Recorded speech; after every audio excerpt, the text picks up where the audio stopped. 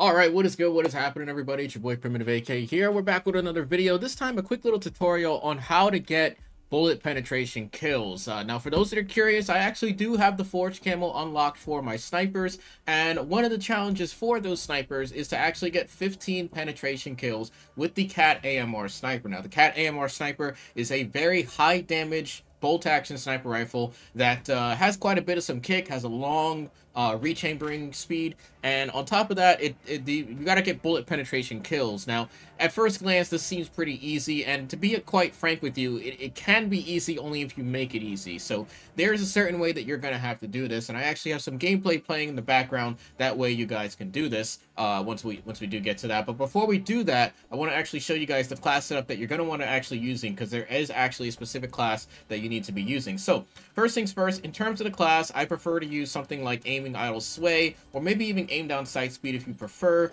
Uh, those are just kind of my personal preferences. We're going to be using a laser sight so that way we can have a little bit faster ADS speed.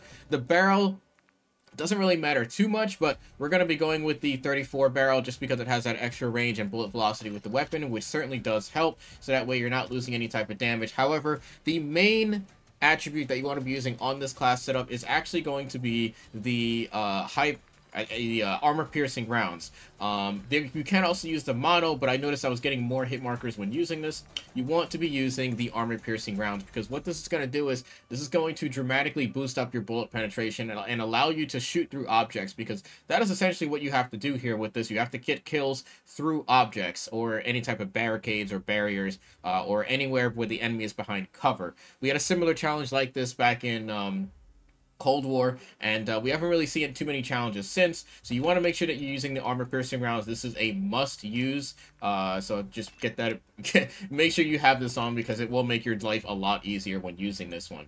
Um, the rest of the class doesn't really matter too much. You can kind of use whatever you'd like on this one. Uh, I would definitely throw on rechambering speed as well just to help you out with that.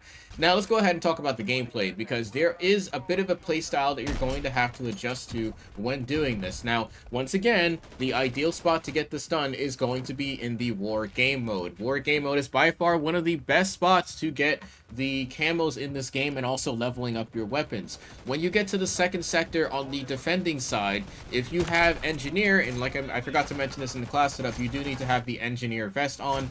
Uh, there is going to be a certain spot of the map where the tank is moving down the middle of the map, and there is actually a piece of cover that you could stand behind, and when you have engineer on, you could actually highlight the tank, and you need to aim at a specific area where the enemy is getting on the tank. That will allow you to get headshots on anyone that's going inside of that tank because you have the engineer perk on from your vest, and you can actually see them through the wall. Now, you can't see the player through the wall, but if you just know exactly where to aim uh, by watching my gameplay, you can literally get a wallbang kill by sitting behind a piece of cover.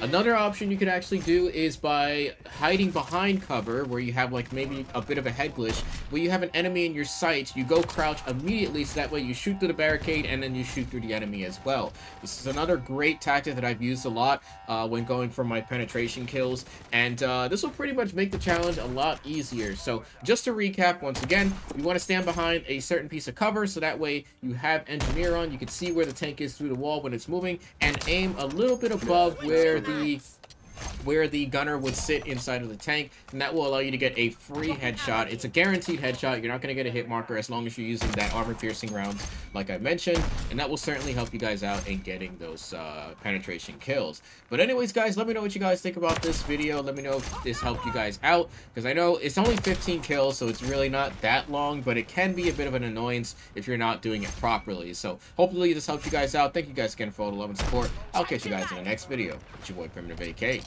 Signing out. Peace out, fellas.